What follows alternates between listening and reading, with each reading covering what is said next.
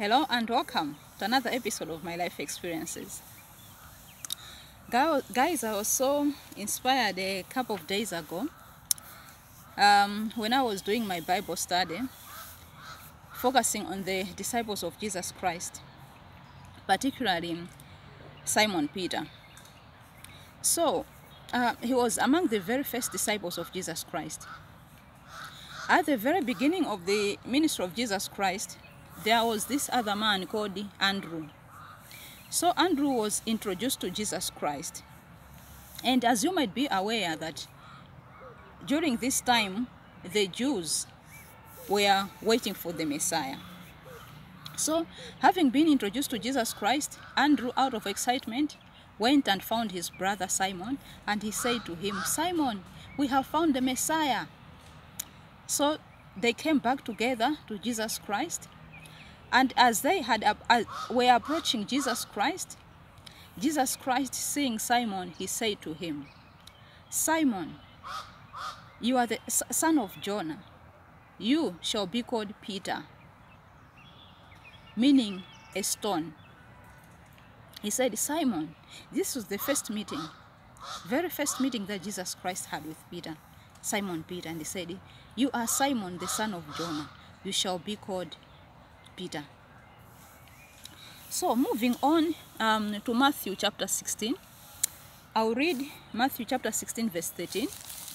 It says, When Jesus came into the region of Caesarea Philippi, he asked his disciples, saying, Who do men say that I am? So they said, Some say John the Baptist, some say Elijah, others Jeremiah, or one of the prophets. Then Jesus said to them, But who do you say that I am? Now he was asking the disciples. So Simon Peter said, You are the Christ, the Son of the living God. Jesus answered and said to him, Blessed are you, Simon, the son of Jonah, for flesh and blood has not revealed this to you, but my Father who is in heaven. And I also say to you that you are Peter, and on this rock I will build my church, and the gates of Hades shall not prevail against it. And I will give you the keys of the kingdom of heaven. And whatever you bind on earth will be bound in heaven, and whatever you loose on earth will be loosed in heaven. So Jesus Christ is saying this for the second time that Simon, the son of Jonah, flesh and blood has not revealed this to you, but my Father in heaven. And I also say to you that you are Peter, you are a stone, basically. That's what it meant. And on this rock I will build my church, and the gates of Hades shall not prevail against it. So, guys, I just want you to see the magnitude and the responsibility that Jesus Christ um, had placed on Peter, the trust, the kind of trust that Jesus Christ had on Peter, because he's saying that you are Peter, and on this rock I'll build my church, and the gates of hell shall not prevail against it. And I'll give you um, the keys to the, of the kingdom of heaven. Whatever you bind on earth will be bound in heaven. Whatever you loose on earth will be loosed in heaven. This is how I'm looking at it as a layman. I'm not a theologian, so just as a layman, this is how I'm looking at it. A great responsibility placed on Peter. Moving on to the book of John. When Jesus Christ, after his death and resurrection, before his ascension, he appeared to his disciples the third time. And this time around, they had gone fishing, and Jesus Christ appeared to them at the lake. So the disciples came to him. And Jesus, seeing Peter, said to him, from chapter 21, verse 16, he says, Simon, the son of Jonah, do you love me? Then Simon Peter says, Yes, Lord, I do. Jesus says, Tend my sheep. For the second time, Jesus says, Simon Peter, the son of Jonah, do you love me?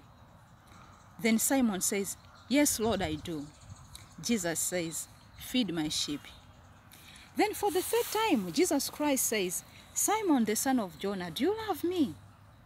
Then Simon, out of frustration, kind of, I think, says, Lord, you know all things. You know that I love you. You know I do love you. Then Jesus says, Feed my sheep. Then, after saying that, Jesus said to Simon, Follow me. Now, Simon, instead of starting to follow Jesus, he stops and looks behind. And he sees another person, one of the other disciples of Jesus Christ, also following Jesus Christ. And he stops and he says, Lord, what about him? This is on um, John chapter 21, verse, um, chapter 21, verse 21. Starting from uh, verse 20. When Jesus had said, Follow me to Peter, then Peter turning around, he turned around and he saw another disciple also following Jesus. Then he says, Lord, what about this man? Okay? So it's like Peter, instead of following Jesus, he stops, looks behind, sees another person following also, then he says, What about this man?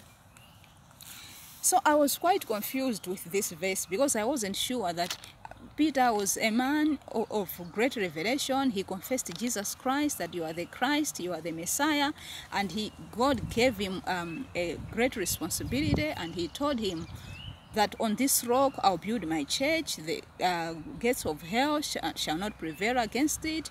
I'll give you a key and whatever you bound on earth will be bound in heaven. Whatever you loose on earth will be loosed in heaven. Then i'm saying why is is peter acting like this? Is this out of jealousy? When he's asking that what about him? Then jesus christ gave him a very interesting response. In verse 22 jesus said to him if i will that he remains till i come what is that to you?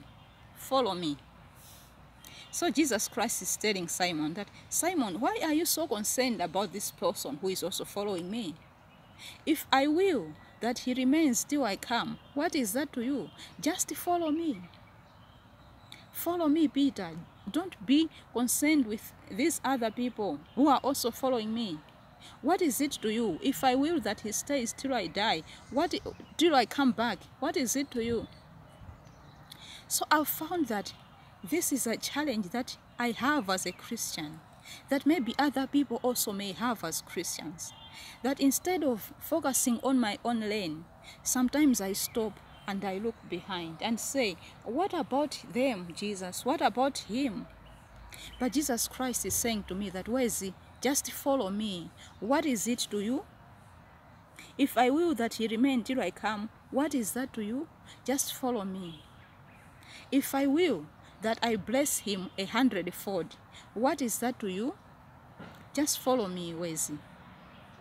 If I will that I give him a hundredfold of my spirit, what is that to you? Just follow me. If I will that I give him promotion upon promotion upon promotion, what is that to you? Just follow me. If I will that I bless him with all the money on earth. What is that to you? Just follow me. I was so inspired, guys. Sometimes I'm so fixated on other people. Sometimes we become so fixated on other people, the calling that they have when they are following Jesus Christ, that we stop instead of focusing on our own plot, focusing on our own course, we stop and say, Lord, what about them? Lord, what about him? But Jesus is saying to us, What is it to you? Follow me. So, guys, let us learn to not get so fixated on other people, the blessing that God is giving upon them. Let us focus on our own lane. Let us focus on our own course. Let us do well the responsibility that Jesus Christ has placed on us. And we should learn to celebrate with the blessing of other people. If God is blessing other people, let's celebrate with them. If God is calling other people, let's celebrate with them. Because Jesus is asking Peter, if I will that he stays till I come back, what is that to you? Just follow me. Follow me. Where is he? What is it to you? Follow me. Whatever he does, he wills to do what he wills to do. If he blesses another person, he wills what to do. If he promotes another person, that's what he wills to do. If he pours his spirit on another person, that's what he wills to do. Just follow me.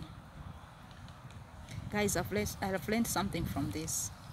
That I should focus on my lane. I should just focus on what Jesus Christ has given unto me and follow him. Thanks so much, guys. I hope this has reminded somebody to follow Jesus Christ and to focus on their lane. Stay blessed. And don't forget to subscribe to this channel. Hit the subscribe button. It's not difficult. Just press the subscribe button. And also, press the thumbs up, the like button. Till next time, stay blessed.